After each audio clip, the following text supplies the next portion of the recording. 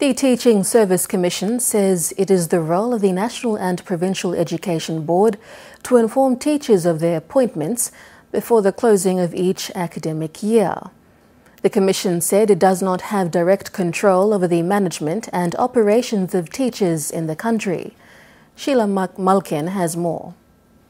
NBC Radio, Radio. Teaching Service Commission Policy Commissioner Samson Wangiomi says they only step in if the administration of schools break laws within the Education or the Teaching Service Act. We do assist if the department requires and says, look, we need help here.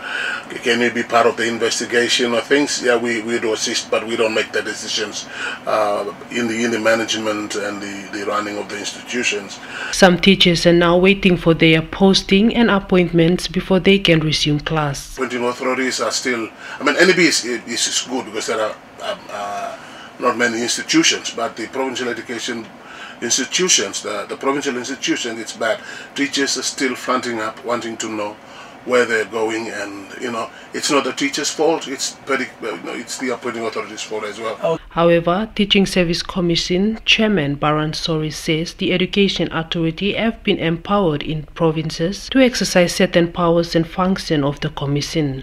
Uh, and we trust that they they exercise those powers with caution to ensure there is proper appointments made particularly appointment decisions made that um, that by merit so the teachers are happy to take appointments. Mm. Sori says if teachers' appointments are done on merit, salaries and allowances that are attracted to the position are paid, there would be no issues. However, if that has been the case, the Education Authority have to sort it out. Sheila Malkin, NBC National News, Port Moresby.